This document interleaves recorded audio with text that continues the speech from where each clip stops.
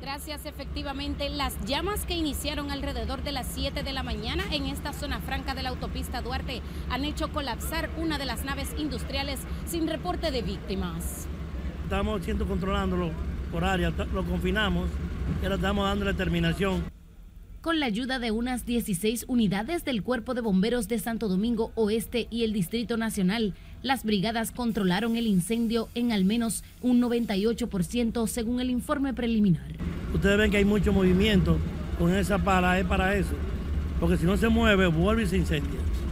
O sea, estamos y nos llegó más, más agua para nosotros terminar de, de erradicar el fuego. Tenemos unas 11 unidades, unos 60 bomberos trabajando y como le decía el comandante Mendoza, ya es un tema de remoción de los escombros con eh, el, equipo pesado para ya dar feliz término a esta emergencia. En las afectadas instalaciones del Parque Industrial Dastorage se almacenaban materiales para la fabricación textil, cuyas pérdidas económicas aún se desconocen. Eh, no, no hubo evacuación porque cuando yo llegué estaba cerrada. Yo soy la que tengo la llave principal y los empleados no habían llegado. Sí, sí, claro. ¿Alrededor de cuántas personas laboran? Somos 10.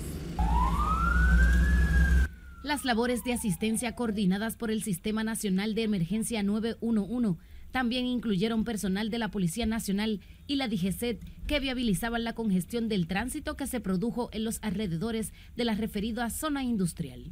De acuerdo con las autoridades, en lo adelante iniciará la fase de investigación para determinar las causas del siniestro. Esta es toda la información que tengo yo. Regreso contigo al set de noticias.